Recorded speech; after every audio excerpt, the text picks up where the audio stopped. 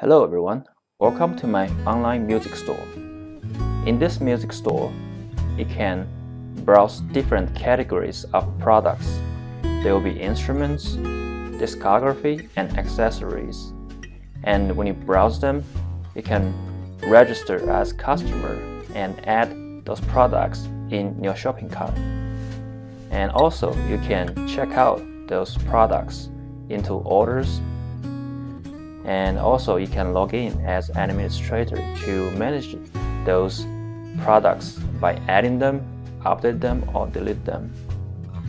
Okay, so let's take a quick tour of the website. So here we have our navigation bar, which has our home button, the product button and about button, and we also have login and register and after that below that we have a carousel effect um, that we can switch back and forth to change the background image of the landing page. And then below that we have three different icons that correspond to three different categories of music products. So let's go, go ahead and take a look at our music products so this is the music product list page and we can choose to list, the entries of products. So right now we have three different products and the category has instrument, record and accessory. So basically I can type in whatever keywords I'm interested to search them. So if I type instrument, so only instrument will be showed up also accessories or some numbers. And when you click on this information icon we can see the detailed information of the product. And also we can come back to the product list page. And if you want to become a customer let's go ahead and register.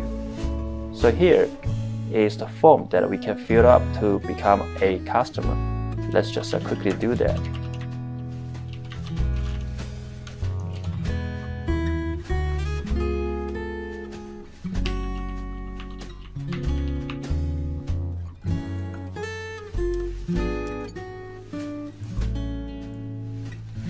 and then click the submit button. Okay, so we have a validation check here. It says the email already exists. Let's change our email address.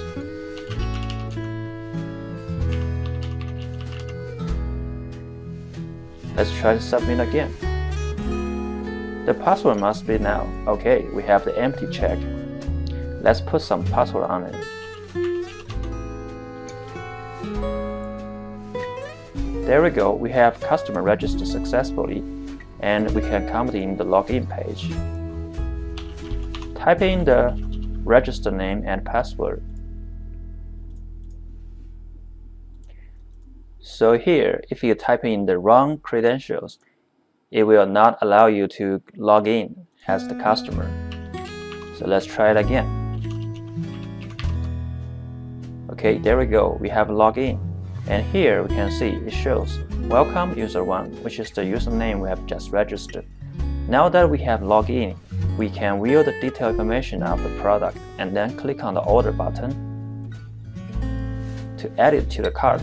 So it says product successfully added to the cart. Let's go back and add a different type of product. Okay, so we have three products added. Let's go to cart to take a look at them. So here come to the, our cart page. We have the product listed here and this one we have added two times so the quantity becomes two. And this one we have only one. So it will show the price of the unit price times the quantity here and also it has a grand total. What we can do is that we can remove cart items by click on this remove uh, button and also we can clear a cart by clicking this button and also we can check out um, based on the customer information when we register here we have our customer name email phone and uh, a billing address and then we come to our shipping address then next here we have the order confirmation page. We have the product listed and total price listed and we can submit order. And before that, we can also cancel the checkout. So if we cancel that, it says checkout cancel. So let's go take a look at cart. We still have the products here. Let's check it out again. Click on next, next, and then let's submit order. Okay, so your order is submitted successfully, and uh, this this result will be recorded in our database. Okay. So besides that, we can log out and then log in as our administrator. So let's go to our administrator page and you can see here we have the welcome admin and we don't have the cart button showed up because uh, admin is a different different role and we don't need the cart functionality here. So when we come over to administrator page, we can uh, visit the product inventory link and also the customer management link.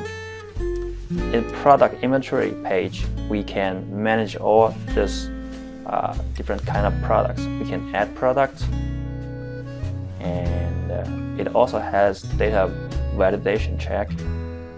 And we, we can also delete product or update product. Okay, and when we come to this customer management we can have the list of all the customers displayed here. Okay. So that's pretty much about our music website.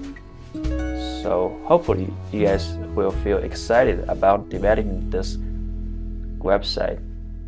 I'll see you in the first lesson.